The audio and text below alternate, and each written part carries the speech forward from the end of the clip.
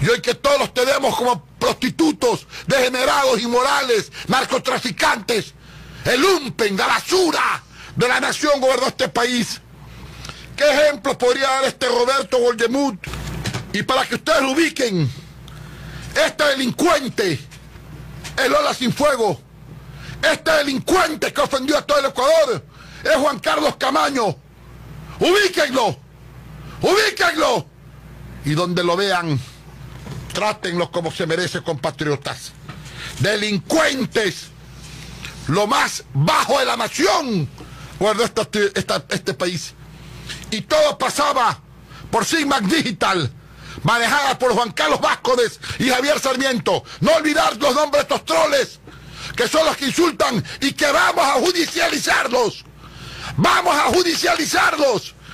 Hemos logrado y estamos haciéndolo captando todas las cuentas chuecas que nos ofenden para descubrir el IP de donde vienen. Vamos a meterlos a la cárcel a todos. Juan Carlos Vázquez, Javier Sarmiento y el otro, Juan Carlos Camayo, Roberto Gugelmut. Nicho de robos en torno de la agencia digital. También la temían a Mauri Chamorro, rojo con estos apellidos, y el padre a Mauri y eso se manejaba desde Quito. Otra fue la agencia de Coining en Bálsamos, en la calle Bálsamos en Urdesa que la tenemos detectada. ¿Y quién les daba el soporte viral? Cima de Juan Carlos Bárcenas y Marcia Alvarado, hija de Vinicio. ¿Qué condición de dama y de mujer puede tener esta chica? ¡Degenerada! Ofender a gente honesta por dinero.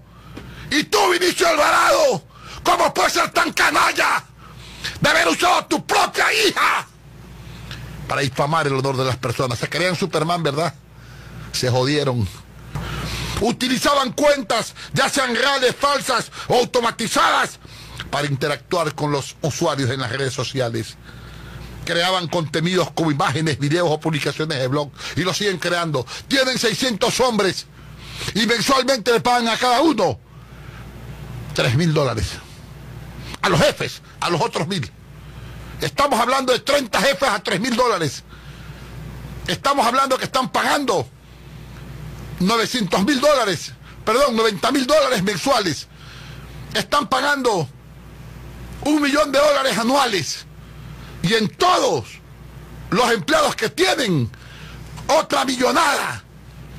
Y ahora dice que el bolsillo de ellos en realidad es el narcotráfico que paga todo. En este informe de la Universidad de Oxford, en Ecuador, el caso más conocido es la plataforma Somos Más con el signo, o los guerreros digitales, como los denominaba el delincuente narcotraficante Rafael Correa Delgado.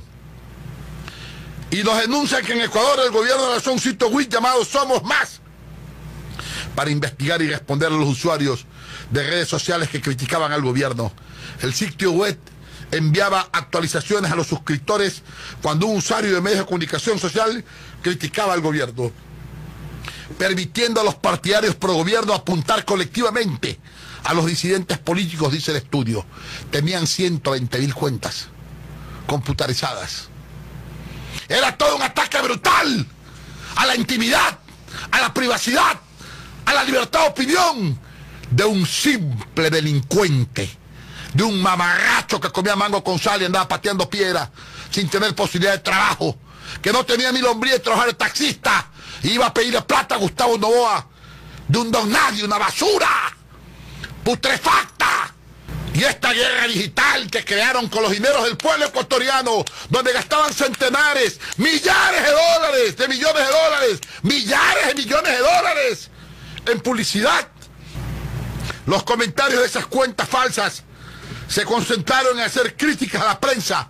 150 mil cuentas de Twitter y Facebook identificadas. De estas, 70 mil cuentas tenían 5 años de vida, 50 mil entre 2 y 3 años y los restantes menos de 2 años. No importa que haya 150 mil cuentas, el problema es que lo manejaba un solo ser humano.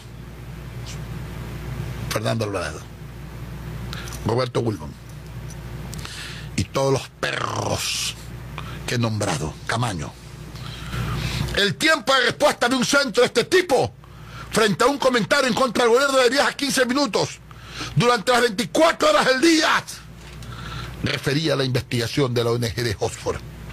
Al interés de un simple hijo de la valiente que lo parieron, llamado Rafael Correa, enfermo, degenerado, morboso, metido en la vida privada de todo el mundo, escuchando sus conversaciones y grabaciones, e insultando a cualquier dama, niño, caballero, que tenía que oponerse a él. ¿Qué te creías, imbécil, Calígula? ¿Qué te crees, imbécil? Mira dónde estás, bailando en minifaldas escocesas en Bélgica, como un perro. Si vinieras al Ecuador te ahogarías, porque te caerían, la gente te escupiría. Y de tanta saliva te ahogarías en la saliva. No tienes idea del daño que has causado, desgraciado. Ven acá, maricón. Ven acá. Si no tienes mi juicio, te va a durar poco. Canalla. Canalla. Has destruido mi patria. Estoy indignado, canalla. En Ecuador se reportaron las empresas Troll Center, Riveney, Percrea y Sigma Digital. Sigma es una empresa publicitaria identificada con el gobierno como arroba del patriota. La manejaba también Fernando Alvarado.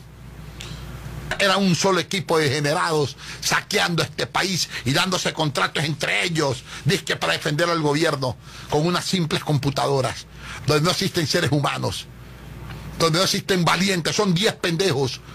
10 pendejos encabezados por los Alvarado y por Rafael Correa, por Patiño. Cada contrato que hacían con las empresas privadas que eran ellos mismos, cada uno, era cuando les daba la gana de 200 mil dólares. Facilito se llevaron ahí decenas de millones de dólares. En Quito estaba en una oficina de la República y El Salvador. Funcionaba el Troll Center oficialista. Debe funcionar todavía. Riven de Sociedad Anónima es la empresa que tenía los contratos para esta actividad. Alvarado. Quien figuraba como gerente de esta empresa era un jornalero agrícola manavita. Y Riven estaba relacionada con la otra, llamada Medaglia esta última está domiciliada en Guayaquil en la misma dirección donde se ubicaban Percrea y Sigma Digital, o sea, donde el propio Fernando Alvarado. Qué bueno que resultaste para robar raterito, ¿ah? Qué ofensa que eres para tu padre y tu madre, que eran personas honorables.